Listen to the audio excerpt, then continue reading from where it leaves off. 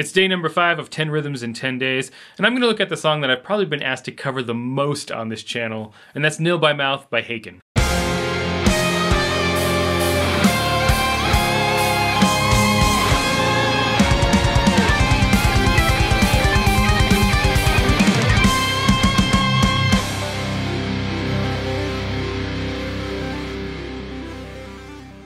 I've talked about Haken before on this channel. In fact, I did a full breakdown of the song Carousel from their latest album Virus, which you can check out here.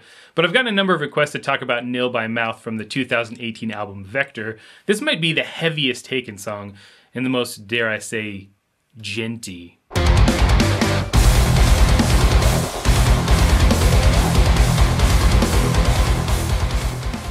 There's a lot of cool rhythms throughout the song, but I'm going to take a look at the end of the song, which features this long section that slowly builds into crazy, heavy eight string madness.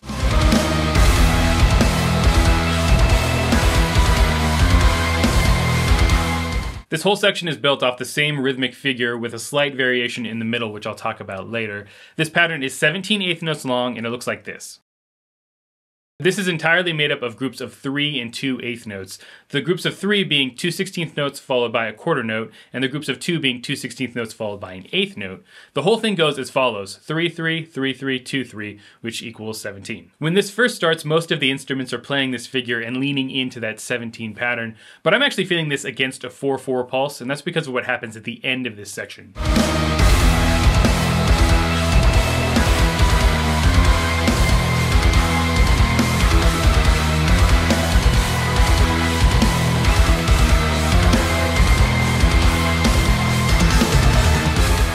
This same 17 eighth note long pattern continues here, but now there's a straight 4-4 backbeat against it in the drums. This is classic Meshuggah kind of stuff here, 8 strings and polymeter. Two bars of 4-4 has 16 eighth notes, and this pattern has 17 eighth notes. So what happens is that this riff cycles around that 4-4 groove in different ways each time, which changes up the way the riff feels each time it's played. Earlier in the section, even when that 4-4 pulse isn't happening, I'm still feeling it against that because I think the extra syncopation sounds better with this particular pattern. And my guess would be that the guys in Haken play live with a quarter note click during this part. In fact, I kind of know that because of this live video.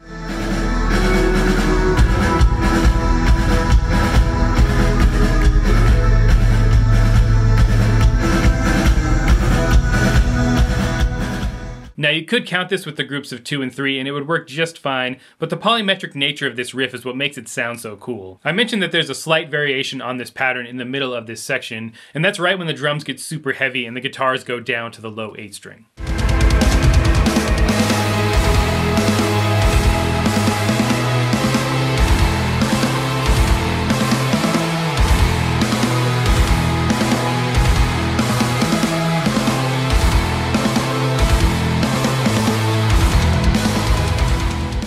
What happens here is the same 17 note pattern as before, but every other time it plays, an extra group of three gets added to it to make a pattern of 28th notes. The overall sequence here goes 17, 20, 17, 20, 17, 20, 17, 17. So that last time the extra group of three doesn't get added. This totals 145 eighth notes in this whole middle section, and you could notate this a lot of different ways, maybe 17 bars of 4-4 and then a bar of 9-8, or you could notate it as the patterns themselves, 17-8, 28, 17-8, 28, etc. I actually did this as has eight bars of 4-4 and one bar of 5-4, which covers the first half of this middle section, and then eight bars of 4-4 and one bar of 7-8, which covers the second half. All of the instruments in the band are playing the groups of threes and twos here, including the drums, so how you notate it isn't really that important, but I wanted to keep that 4-4 idea going because I'm still feeling this section against that quarter note pulse. I think this variation is a good addition here, and it keeps this section from sounding too similar throughout.